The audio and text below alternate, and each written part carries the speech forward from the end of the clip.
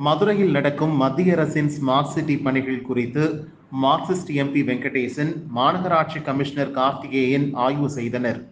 அப்போது பேசிய எம்பி வைகை கரையில் சங்ககால இலக்கியங்கள் வரைபடங்கள் ஓவியங்கள் அடங்கிய சங்க பூங்கா அமைக்கப்படும் என்று தெரிவித்தார்.